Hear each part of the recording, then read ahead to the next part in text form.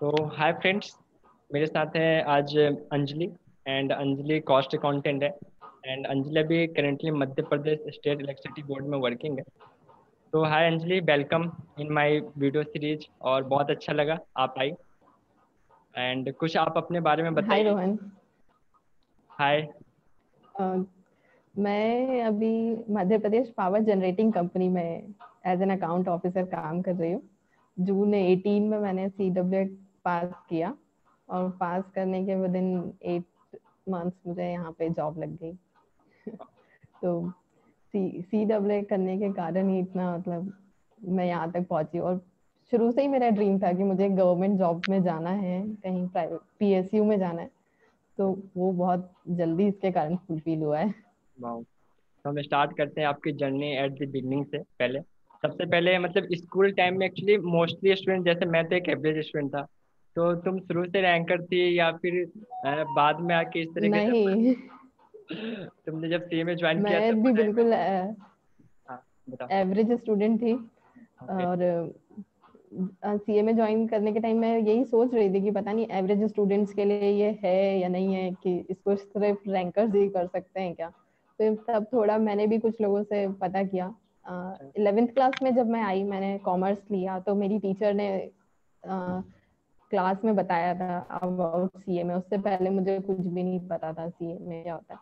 तो मुझे कोर्स बड़ा इंटरेस्टिंग सा लगा कि बहुत छोटा छोटे ड्यूरेशन का है इसका बजट भी कम है। इजी लग रहा था तब तो। फिर तब सोच लिया था कि मैं आफ्टर ट्वेल्थ सी डब्ल्यू करूँगी। फिर तुमने, तुमने जाके वहाँ पे रजिस्ट्रेशन करा लिया। ट्वेल्थ तुमने स्टेट बोर्ड से किया था या फिर सीबीएसई बोर्ड था तुम्हारा? सीबीएसई बोर्ड था मेरा ट्वेल्थ और मैं भी बिल्कुल एवरेज स्टूडेंट थी।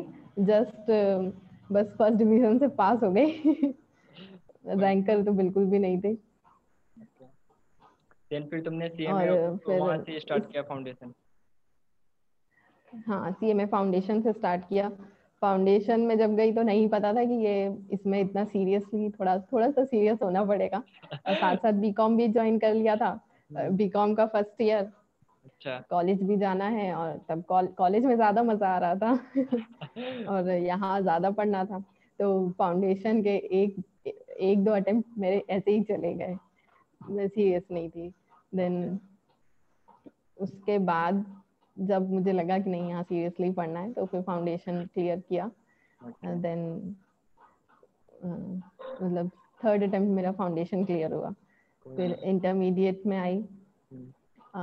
इंटरमीडिएट में मैंने कोचिंग कोचिंग्स का भी मुझे इतना आइडिया नहीं था कि कोचिंग्स अवेलेबल है नहीं है। तब गाइडेंस नहीं था प्रॉपर मेरे पास कि कहाँ क्लासेस करनी है। तो अकाउंट्स के लिए कैसे लोकल टीचर थे वहाँ पे भोपाल में। अच्छा। उनने उनसे अकाउंट्स पढ़ा बस। बाकी सब्जेक्ट सेल्फ प्रिपेयर किए। हाँ। तो मैंने एक टाइम में एक ही हाँ। एक टाइम पे एक ही ग्रुप दिया लेकिन कभी बोथ ग्रुप ट्राई नहीं किया। अच्छा। नहीं कोई बात नहीं। सिंगल सिंगल ग्रुप करके भी आप क्वालिफाई करते हो तो उसमें भी कोई प्रॉब्लम नहीं। देन हम्म। फिर तुम्हारा सिंगल ग्रुप ग्रुप वन फिर मेरा ग्रुप वन में मेरे को लॉ में बहुत प्रॉब्लम आ रही थी। अच्छा। हर बार लॉ प्रॉब्लम कर रहा था। तो फिर मैंने फिर ग्रुप टू ट्राई किया। तो ग्रुप टू मेरा फ़र्स्ट अटेम्प्ट में ही निकल गया। और ग्रुप टू के लिए मैंने हर सब्जेक्ट की कोचिंग ज्वाइन कर ली थी क्योंकि तब तक मुझे थोड़ा गाइडेंस देने के लिए फ्रेंड्स भी मिल गए थे और अपने चैप्टर के टीचर्स भी थे। तो और नई कोचिंग्स भी थोड़ी पता चल गई थी कि कहाँ जा सकती हूँ क्या। Okay. तो ऐसे तब मुझे पता चला कि कोचिंग इम्पोर्टेंट है। अगर वो होती है तो आपके पास मतलब आपके बेसिक्स अच्छे से क्लियर हो जाते हैं। आप एग्ज़ाम में अच्छा परफॉर्म कर सकते हैं उसके। तो ग्रुप टू फ़र्स्ट अटेम्प्ट में निकला देन उसके बाद उसके नेक्स्ट अटेम्प्ट में ग्रुप वन निकल गया। देन फिर फाइन फिर उसके बाद फाइनल के फाइनल में आ गई। ट्रेनिंग ट्रेनिंग मैंने बीएचएल से की है ट्रेनिंग में चली गई ट्रेनिंग ज्वाइन की। तो जब तुम बीएचएल में जब तुम ट्रेनिंग करने गई तो वहाँ पे भी बहुत सारे स्टूडेंट्स होंगे तुम्हारे साथ इंटरव्यू देने गए होंगे। तो वहाँ पे तुम कैसा फील कर रही थी? बिकॉज़ हाँ। जब आप पीएचडी में जाते हो तो काफ़ी सारे स्टूडेंट के साथ भी आपको कम्पिटिट करना पड़ता है। काफ़ी बहुत सारे मतलब अराउंड सेवनटीन एटीन स्टूडेंट्स आए थे और वहाँ पे सिर्फ़ पाँच या सिक्स अराउंड सिक्स पोस्ट थी उनके पास ट्रेनिंग की। देन वहाँ सीए भी कुछ सीए सीए आर्टिकल्स भी थे। तो ऐसा तो कंपटीशन काफ़ी टफ लग रहा था बट इजी गया। उन्होंने बेसिक्स क्वेश्चन बेसिक क्वेश्चंस ही पूछे। एंड देन वहाँ पे सिलेक्शन हो गया। मैं क्वेश्चंस याद है? एक दो क्वेश्चंस बता सकती हूँ वहाँ भी इंटरव्यू के क्वेश्चंस हाँ जो जनरली um, याद नहीं है। कॉस्ट शीट जैसे उन्हें अच्छा। पूछा मुझसे कि कॉस्ट शीट क्या होती है? अच्छा। और थोड़ा प्रोविज़न क्या होते हैं रिजर्व्स क्या होते हैं? मतलब अकाउंट्स के भी बेसिक चीज़ें पूछी थी कुछ कॉस्टिंग में से basic direct tax indirect tax पूछ लिया ऐसे। अच्छा देन फिर तुम कुछ आगे बता थी जो इंटरमीडिएट में तो इतना सीख ही जाते हैं अपन। हाँ, वो तो है। फिर तुम कुछ बता रही थी आगे जब तुम्हारा वहाँ सिलेक्शन और भी जगह मैंने हाँ। उसके बाद वहाँ पे भी वही पीएससी लेकिन मुझे लगता है कि ट्रेनिंग पीएसयू की जगह आपको कहीं फर्म में करना चाहिए। पीएसयू में आपको इतना एक्सपोजर नहीं मिल पाता है। क्योंकि वहाँ पर आप एक ही डिवीज़न में आपको रख देते हैं और बस आप एक डिवीज़न का ही वर्क देख पाते हो। जैसे वहाँ पे मुझे पेंशन और पीएफ में रखा था। Okay. तो वन ईयर मैंने ट्रेनिंग किया बट लेकिन सिर्फ़ पेंशन और पीएफ में ही मैं सीमित रही। अच्छा वो तो है पीएफ गवर्नमेंट कंपनी इतनी बड़ी होती है कि आपको एक डिफरेंट कल्चर कल्चर से हाँ। गवर्नमेंट कंपनी इतनी बड़ी होती है कि वो हमें मल्टीपल डिपार्टमेंट नहीं दे सकते हैं। तो ये एक कहीं ना कहीं एक छोटा सा ड्रॉबैक है हाँ। वहाँ पे। एंड देन uh, फिर तुमने फाइनल का फिर किस तरीके से किया? बिकॉज़ जब तुम ट्रेनिंग कर रही थी तो शायद तुमने फाइनल अपना स्टार्ट किया होगा स्टडी करना। हाँ तो सब वो टाइम बहुत अच्छा था। मतलब आप जा रहे हो ट्रेनिंग के लिए भी साथ में कोचिंग्स भी फिर आके आपको सेल्फ स्टडी भी करना है। हाँ. तो मैंने कोचिंग्स भी ज्वाइन कर रखी थी। मेरी लॉ की क्लासेस चलती थी तब एफएम की क्लास चल रही होती थी। तो वो मैनेज करना दोनों चीज़ साथ में पढ़ाई करना बहुत ही टाइम भी अच्छा भी था और बहुत सीखा उस टाइम में। अच्छा हाँ। कभी कोई ऐसा टाइम आया जिस समय तुम्हें ऐसा लगा कि यार मैंने सी में ज्वाइन किया मुझे इतना ज़्यादा पढ़ना पड़ रहा है? पता नहीं मतलब किस टाइप का मतलब इस टाइप का कभी कुछ फील हो रहा था पढ़ाई को हाँ, लेके? बिकॉज़ जब तुम ट्रेनिंग कर रही होगी तो पूरा ट्रेनिंग टाइम फिर सुबह पढ़ना शाम पढ़ना तुम्हारी लाइफ बिल्कुल एक तरीके से पर्सनल लाइफ तो बिल्कुल खत्म हो चुकी थी बिल्कुल सिर्फ़ स्टडी और स्टडी इसके अलावा लाइफ में और कुछ नहीं था। हाँ ट्रेनिंग के टाइम पे थोड़ा ऐसा था बट इतना उस उस उस टाइम मुझे ऐसा इतना फील नहीं हुआ क्योंकि उस उस टाइम को तो मैं एंजॉय कर रही थी बट लेकिन जब बाद में मेरा थर्ड ग्रुप जब नहीं निकल रहा था मतलब कोचिंग ओवर हो चुकी थी अब नहीं निकल रहा है लेकिन फिर भी मैं क्योंकि हम हमेशा मैं थियोरी सब्जेक्ट जैसे लॉ लॉ में मैं वीक रही हूँ तो वो मैं भी मैं भी बहुत वीक था 40 और 44 कितना भी मेरा 40 44 से ऊपर लिया है लॉ में।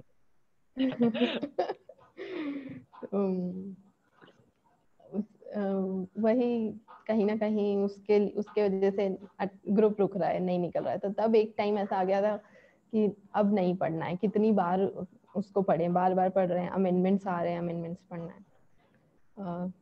पर फिर जैसे फैमिली सपोर्ट है फ्रेंड्स हैं, फिर आपके जो फ्रेंड्स का अगर कंपटीशन है तो वो बहुत पॉजिटिव वर्क करता है, मुझे लगता है।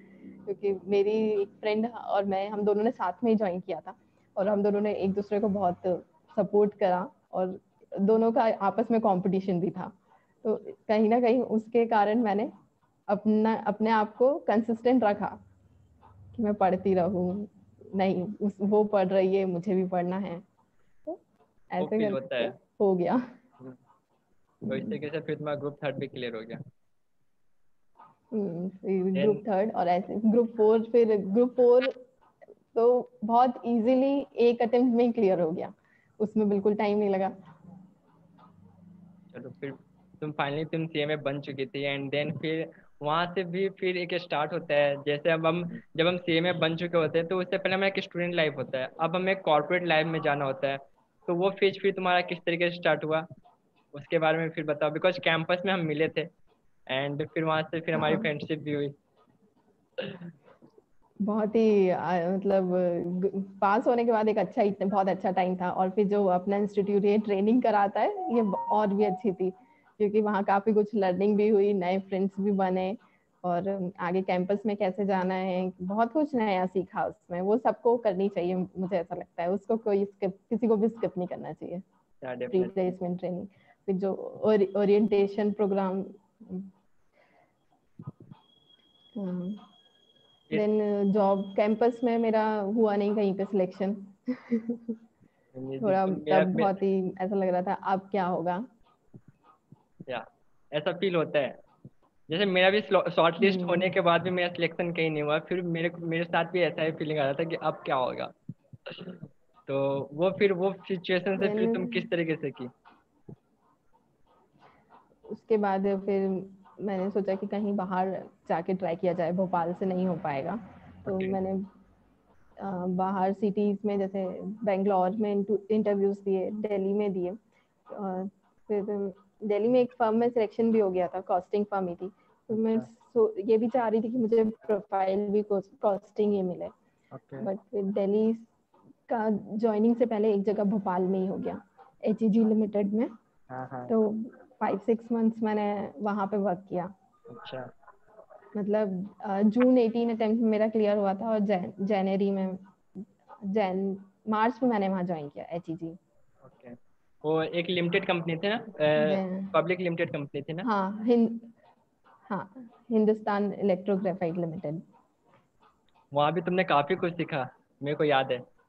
हाँ वहाँ पे मुझे प्रोफ़ाइल कॉस्टिंग प्रोफ़ाइल मिली थी और बट कॉस्टिंग से ज़्यादा वर्क वहाँ मैनेज एम आई एस का था।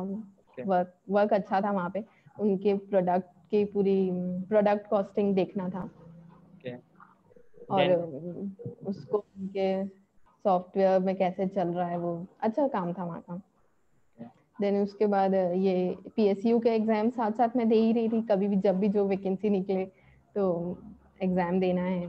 प्रिपरेशन थोड़ी बहुत रीजनिंग एप्टीट्यूड इंग्लिश ये सब थोड़ा बहुत कभी जैसे एग्ज़ाम आ रहा है तो उससे पहले देख लिया कुछ okay. एक कुछ थोड़ा प्रिपेयर कर लिया। और प्रोफेशनल नॉलेज के लिए अपने ही नोट्स उठा के एक बार पढ़ लिए। तो ऐसे करके बस देखा और एग्ज़ाम देती रही। तो ऐसे ही एम पी का एग्ज़ाम निकल गया। इसमें एक मेरे लिए बेनिफिट वाला प्लस पॉइंट रहा कि यहाँ पे इंटरव्यू नहीं था। रिटन टेस्ट था।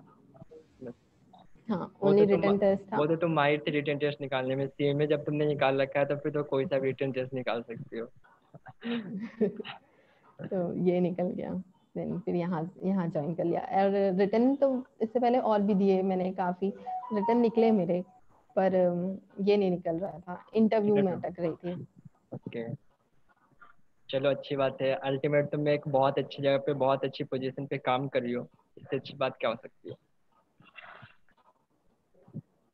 और हाँ। कुछ कुछ बच्चों को तुम कह, कुछ कहना चाहती हो जब ये बच्चे जब हमारी वीडियो देखेंगे तो उनको अपने लाइफ से कुछ कहना चाहते हो बिकॉज़ स्ट्रगल का फ़ेज़ सक्सेस का फ़ेज़ सबके लाइफ में आता है तो हमें अपने स्ट्रगल के फ़ेज़ में हमें किस तरीके से अपने आप के साथ बिहेव करना चाहिए बिकॉज़ काफ़ी सारे स्टूडेंट्स होते हैं जिन्हें लगता है कि यार अब मेरे से नहीं हो पाएगा मुझे छोड़ देना चाहिए या फिर आफ्टर क्वालिफाई उनके जॉब नहीं मिलता तो फिर उन्हें ऐसा लगता है तो आपके पास काफ़ी अच्छा एक्सपीरियंस है तो आप कुछ बताओ बच्चों को कि क्या करना चाहिए, हमें इस टाइप के फ़ेज़ में, अपने लाइफ में। स्ट्रगल स्ट्रगल तो इसमें ज़रूर आता है ये बीच में। अगर आपका, कई होते हैं कि हाँ एक अटेम्प्ट में सब क्लियर पर हमेशा नहीं है कि आप एक अटेम्प्ट में क्लियर कर लोगे। कोई एक पॉइंट पे रुक रहे हो, पर लेकिन आपको रुकना नहीं है होप नहीं छोड़ना है। और कंसिस्टेंसी बनाए रखना है। पढ़ाई बिल्कुल भी नहीं छोड़ना और बिल्कुल होप है ये बिल्कुल क्लियर हो जाता इतना इतना मुश्किल नहीं है। तो पेशेंस रखिए और कंसिस्टेंटली हार्ड वर्क करते रहो। इतना हार्ड वर्क नहीं चाहिए और सब अपने फ्रेंड्स और कंपटीशन के साथ पढ़ते रहना है। डेफिनेटली सी डब्ल्यू क्लियर हो जाता है। और उसके बाद तो आप देख ही रहे कि रिजल्ट्स अच्छे आते हैं और फिर आपकी लाइफ सेट सेट हो ही जाती है।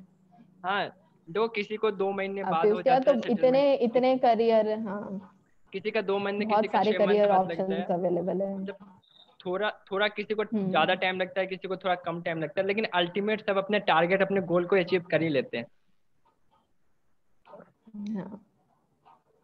तो चलो बहुत अच्छा लगा तुम मेरे सेशन में पार्टिसिपेट की। And hope for the best कि हम फ्यूचर में भी हम ऐसे मिलते रहे। भले